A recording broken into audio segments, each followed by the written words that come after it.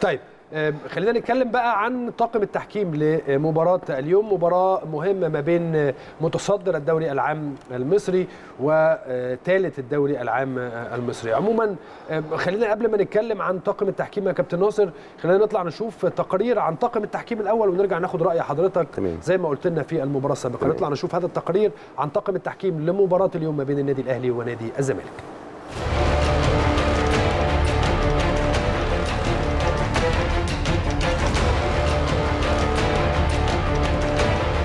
صافرة جديدة تنضم لقائمة الحكام الأجانب في مباريات القمة بين الأهلي والزمالك حيث أسندت لجنة الحكام برئاسة جمال الغندور إدارة مباراة الغريمين والمؤجلة من الجولة الرابعة في مسابقة دوري الممتاز.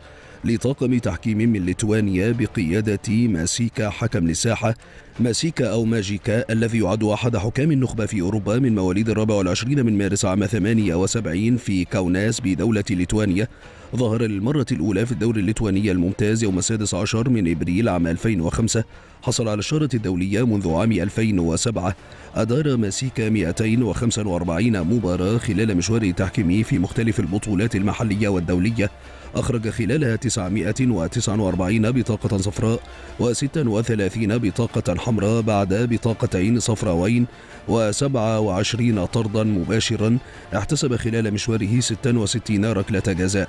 على المستوى العربي ظهر ماسيكا في مباراة وحيدة في الدوري السعودي للمحترفين جمعت بين النصر والاتفاق يوم الأول من يناير عام 2017 انتهت بفوز النصر بهدفين نظيفين كما أدار 30 مباراة في الدوري الأوروبي شهدت إخراجه ل 110 بطاقات صفراء بالإضافة إلى ثلاث مباريات في دوري أبطال أوروبا.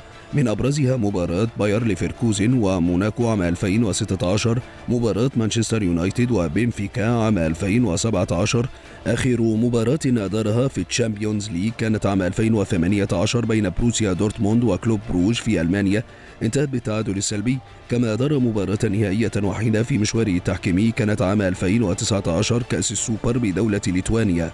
على مستوى المنتخبات ظهر الحكم الليتواني في ست مباريات في التصفيات المؤهلة لنهائيات كأس العالم خلال الموسم الحالي قاد ماسيكا تسع مواجهات منهم مباراتان فقط في الدوري المحلي مباراة واحدة دولية بالإضافة لست مباريات على المستوى القاري.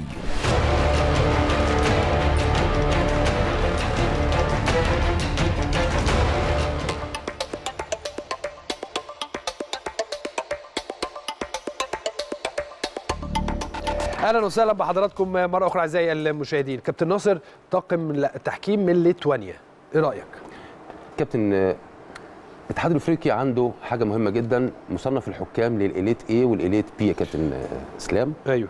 تاني بقول عشان بس السادة المشاهدين يبقوا يعني عارفين الكلام كويس. الاتحاد الافريقي عنده الإليت اي كابتن ناصر الايه اللي هو آه، بيبقى آه، عنده الإمكانية يروح آه، كأس العالم عنده إمكانية يحكم البطولة أمم أفريقية عنده إمكانية ياخد المباريات الكبيرة في آه، دوري الأبطال. الإليت بي بيتم إسناد للمباريات في الكونفدرالية آه، الإفريقية.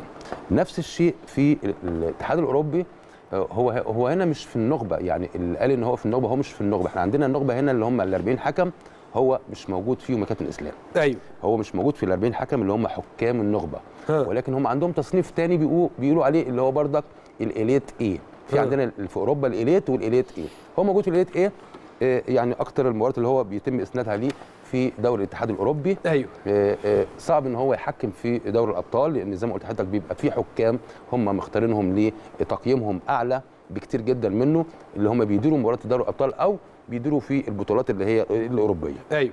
ولكن خلينا نتكلم هو 41 سنة آه، آه، يعني زي ما قلت لحضرتك مش مصنف من ضمن النخبة الأوروبية. آه، النهارده هو عنده صعوبة في المباراة أعتقد عنده خلفية عن المباراة الأولى وبالتالي المفترض النهارده اختبارك هيبقى سهل أسهل من الأولاني. يعني أنت النهارده عندك. لما تبقى أنت شايف مباراة وفي أحداث وفي أسلوب لعب أنت شفتها أكيد وسمعت عنها أكيد. فأنت النهارده فرصتك أفضل بكتير آه، آه، من اللي سبقك اللي هو الحكم اللي هو الموين اللي هو أنا ما زلت أقول إن هو حكم آه، متواضع جدا جدا جدا كان سبب كبير في إن المباراة وصلت لهذا الشكل. آه. أتمنى النهارده من طاقم التحكيم. هو زي ما قلت لحضرتك هو عنده فرصة شاف المباراة شاف الأداء اللاعبين شاف طرق اللعب. النهارده أتمنى النهارده يحكم سيطرته على المباراة من البداية. لا يسمح ابدا باللعب اللي فيه عنف. آه، يطبق القانون طبقا للتهور أو الإهمال أو استخدام قوة زايدة.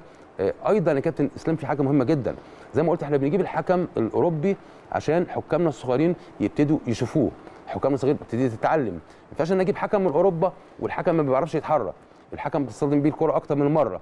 طب أنا النهارده لما يكون عندي حكم مصري بيحصل الكلام ده معاه أنا بجيبه في المحاضرات وبفضل آه، آه، يعني آه، آه، أكلمه وأبقى أكلمه وأديله نصيحة إن هو المفروض يتفرج يتحرك بشكل كويس الحكم الأوروبي المفترض إن هو جاي جاهز يعني يعرف إزاي إيه إزاي يتحرك في الملعب يعني يعرف إزاي يبقى عنده آه، قراءه لأسلوب لعب الفريقين يعرف إزاي يستخدم عنصر السرعة لأن عنصر السرعه أحيانا في المباراة بيبقى مفيد جدا جدا بيخليك تقدر إنك أنت تقطع مسافة من الثلث الدفاعي في آه، حالات الهجوم المعاكس إنك أنت توصل بسرعة للثلث الهجومي آه. آه، آه، عاوزين نتفرج النهارده عليه طبعا مش هنقدر نحكم عليه إلا بعد المباراة ولكن هو فرصته نفس أفضل. علامات الاستفهام. آه علامه استفهام بس هو عنده فرصة كابتن إسلام أفضل بكتير جدا لأن هو شاف ال- الحكم اللي قبليه وشاف المباراة اللي قبليها وشاف أسلوب لعب الفريقين. أتمنى النهارده إن هو يأدي ويخلي في متعة لل- للمشاهد.